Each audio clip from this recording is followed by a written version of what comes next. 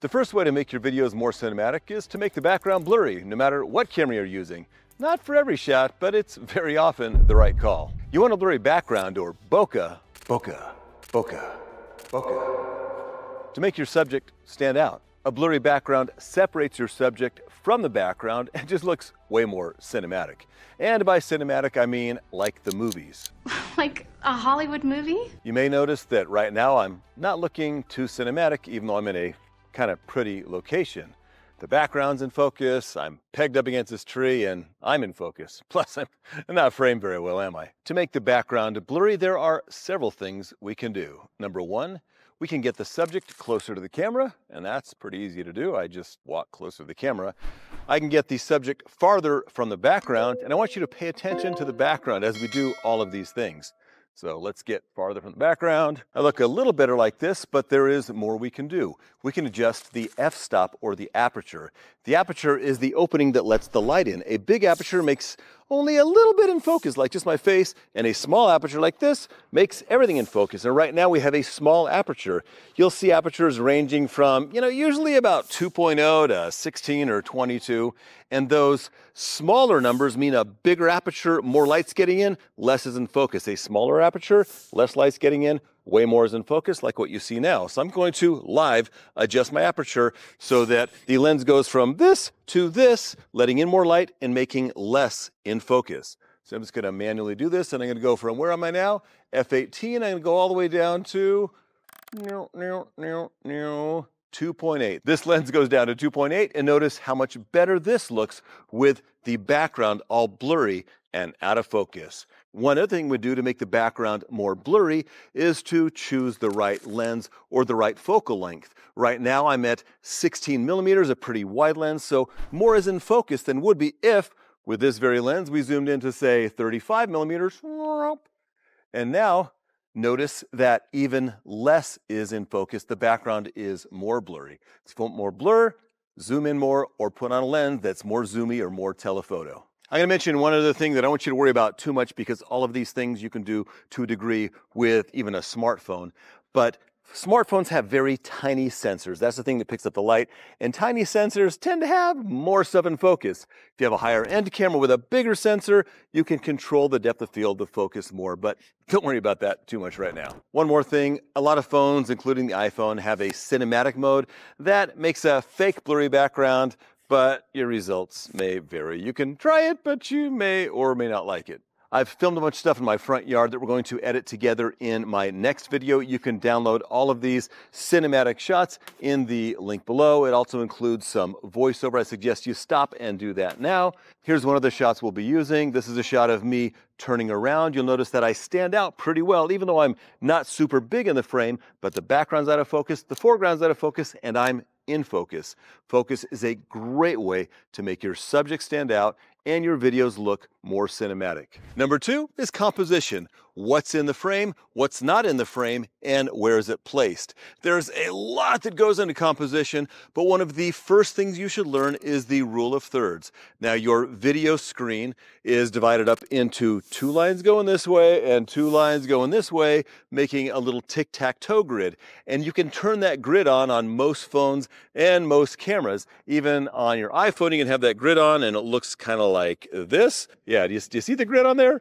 And if you don't, trust me, there's a grid. It's just tic-tac-toe looking.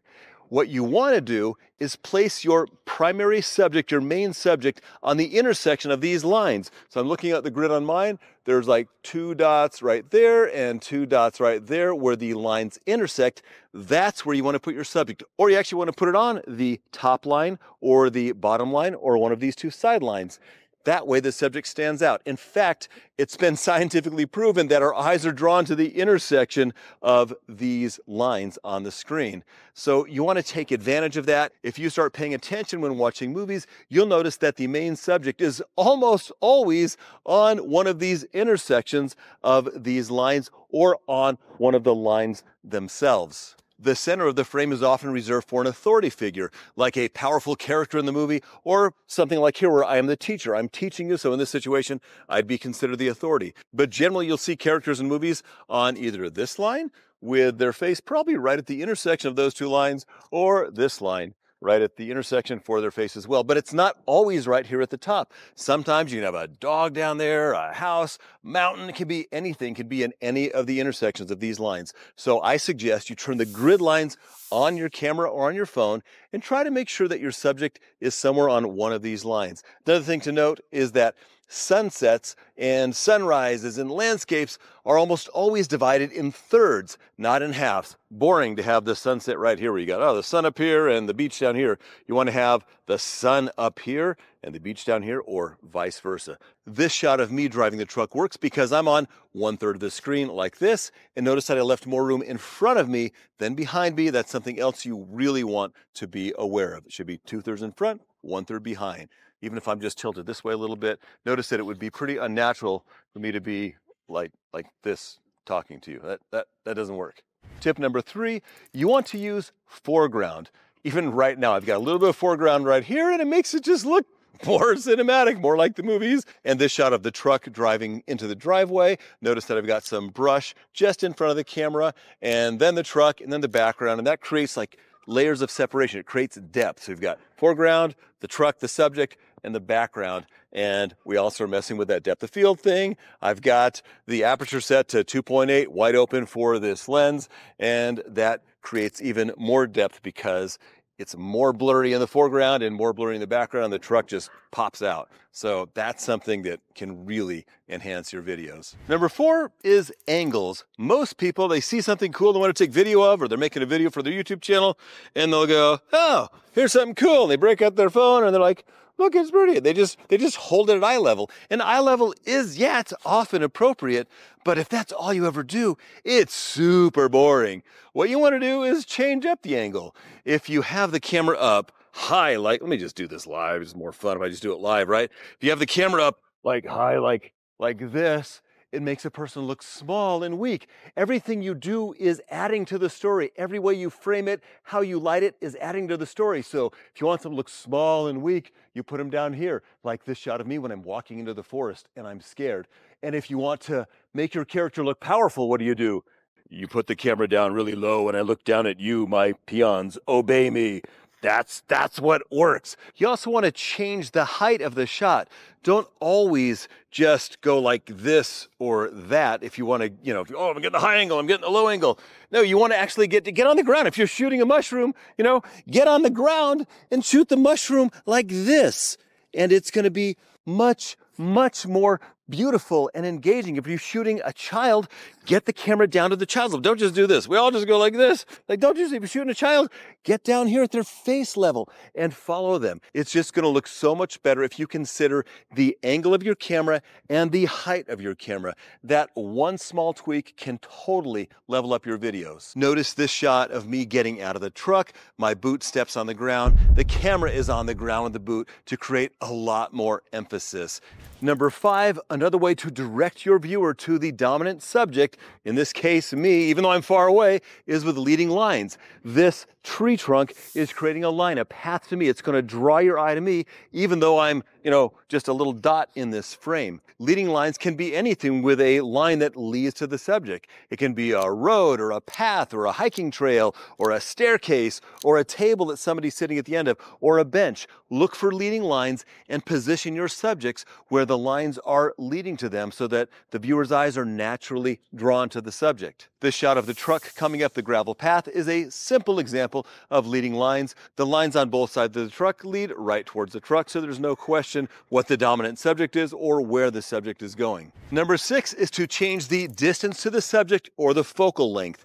You'll notice that most people, when they just break out the camera, they're about the same distance from everything, same angle. We already talked about angles, but you want to constantly change that to keep it interesting. You see that constantly in movies. In fact, in our video that we're creating, we're starting the wide establishing shot with a drone. Then we're going to a medium shot of the forest being revealed from behind a tree and then getting close to the ground with an interesting shot on the ground. We can change the distance by getting the camera closer to the subject. Just walk closer or walk farther away. We change the focal length by either zooming out or zooming in if we have a zoom lens on our camera, or by swapping out the lens for one that's maybe a wider lens or that's more zoomy, more telephoto. Here's a bonus tip. It's often really cool to frame your shot like I'm framed right here. I've got a tree here, a tree here. I'm framed in the middle, and that makes it very pleasing to the eye. Number seven is motion. You want to mix your static shots, shots where the camera's on a tripod, just like this, with shots with the camera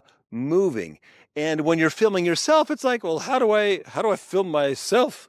I need I need a, a, filmer, I need a camera person. Well, no, you don't. You just got to be a little bit creative. You can do shots like this, where I'm holding the camera on a big old tripod, kind of far from me, but you can't really tell. In this walking shot from the little sequence we're going to create, and this shot also of my feet, where I've got the camera upside down and I'm just walking, filming my feet. So it creates more interest. You can also create static shots by filming a little bit farther away and then editing with your software, zoom in, and then you can pan left and right and, and up and down, and that's another way to create kind of fake motion.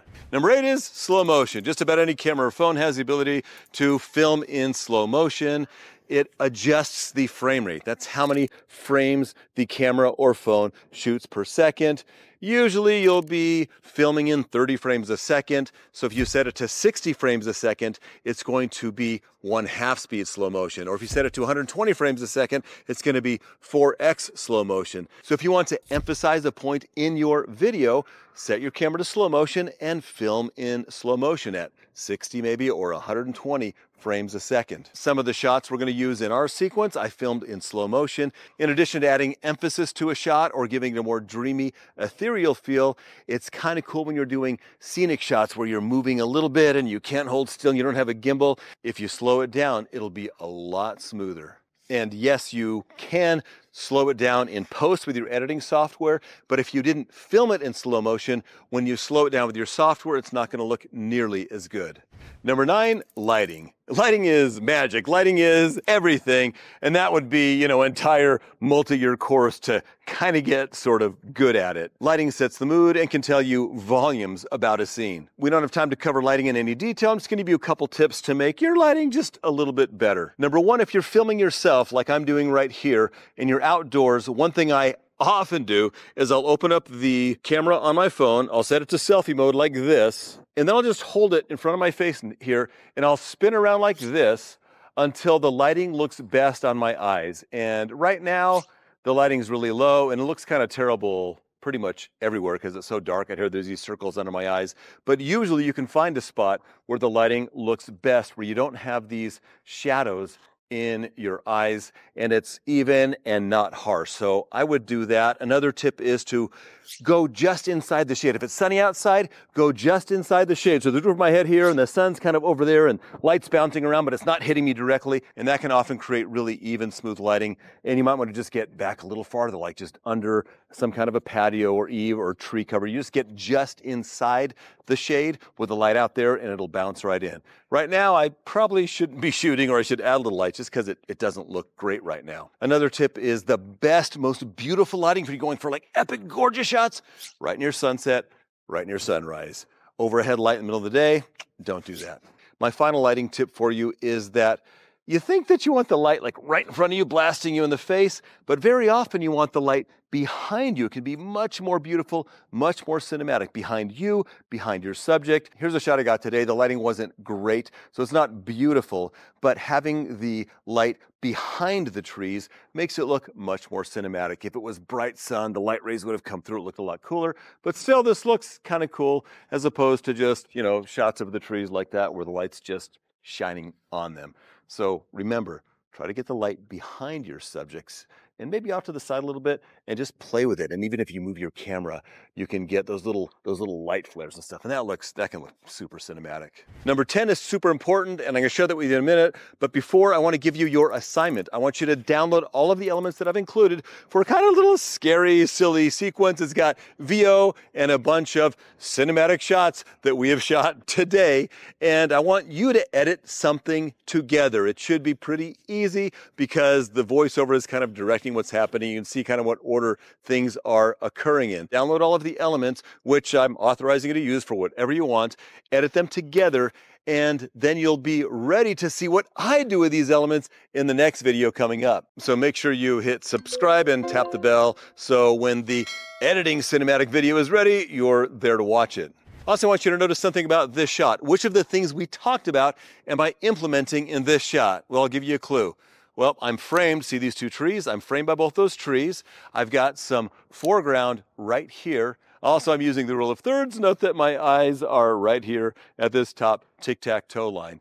You want to understand all of these tips, all of these ways to make videos more cinematic so that you can, anytime you're creating a shot, think about them and go, oh, how can I make this more cinematic? Also, background's blurry, foreground's blurry. So I've implemented, you know, at least four or five of these tips in just this shot here, just a talking head shot. For those of you who made it this far in this video, and I think it's probably a little longer than I wanted it to be, here's the secret. I didn't edit this video that you are watching. For years, I have looked trying to find an editor that I could consistently rely on that could edit as well as me. Remember, I edited in Hollywood for 18 years. I'm extremely picky, but I found Editing Machine and these guys have pulled it off. They've got not just one, but a team of editors as needed that are as good as me. All I do is I take this footage, I submit it to them with some notes, and a couple days later, they submit a cut back to me, and I have changes very often because I'm so picky,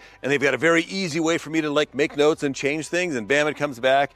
And Sometimes the first round, sometimes second round, it's totally perfect. So if you are looking for an editor, you're at that point in your video, your YouTube career where you need some help, like I do now. I, I love editing. I just don't have time to do it with all I have on my plate, busting out at least two of these videos a week plus everything else happening in my life. So if you're looking for an editor, I highly recommend you check out Editing Machine. They are linked in the description below. They are really, really good. Tip number 10 is to break the rules. Like, you know, maybe have the camera cockeyed to create tension. This is called a Dutch angle, by the way. So if something scary's happened and something is intense and they're running from the bad guys, you have the, the angle cockeyed and it's like, what's, what's making me feel uneven here? Or if you have somebody that's lost in the woods, instead of having leading lines going to them, having like sticks and branches and lines and paths going everywhere so it creates that sense of confusion. Or you could just run up to the camera just to like,